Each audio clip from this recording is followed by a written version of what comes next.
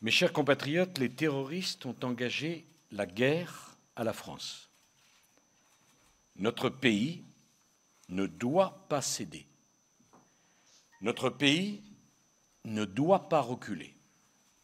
Partout en France, nous reviennent des messages qui montrent à quel point notre peuple est déterminé à vaincre la barbarie djihadiste. La guerre que nous devons livrer doit être totale. Notre devoir est de prendre en compte l'extrême gravité de la situation et d'en tirer toutes les conséquences en termes d'action. Rien ne peut être comme avant. Le terrorisme a fait trop de victimes.